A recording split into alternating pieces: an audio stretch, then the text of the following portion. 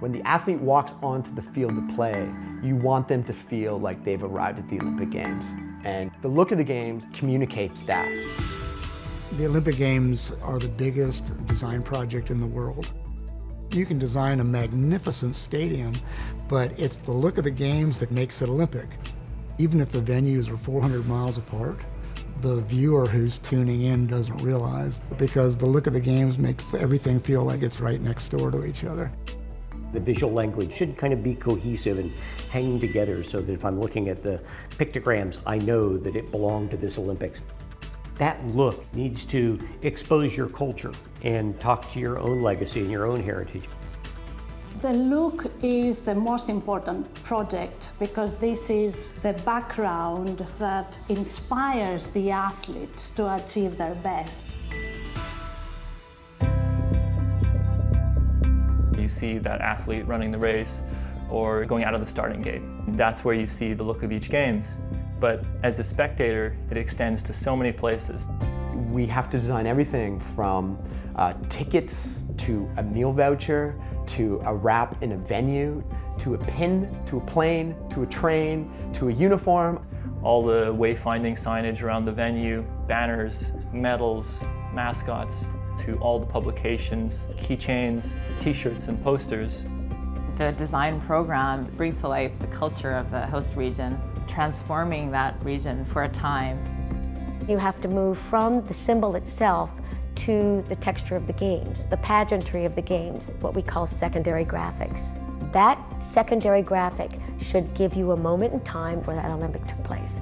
It has to connect somehow to the country, to the values of the Olympics. It has to connect to the excitement that people have when it comes to games.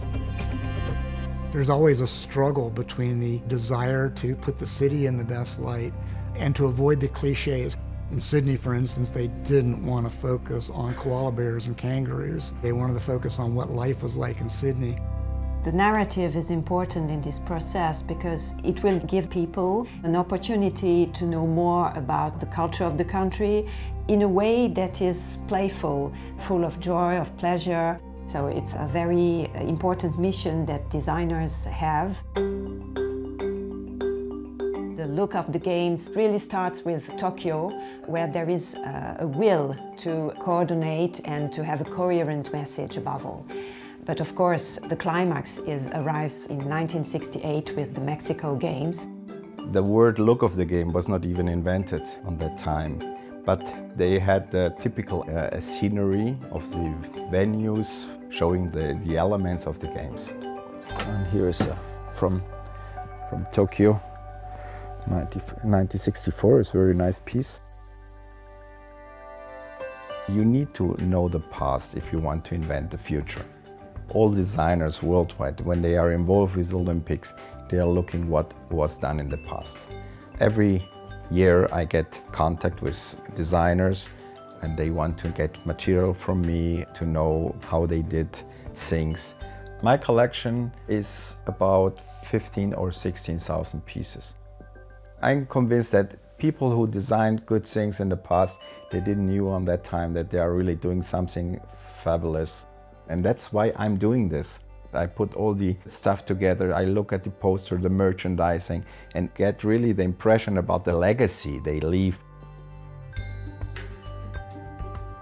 The Olympics had always the chance to do something with a lot of money, with time, with the best designers, and develop something that was not invented before. And everyone copied them later. So the look of the game, many companies have now a look of the games. They call it different, but the Olympics were really a, a pioneer of design in many ways.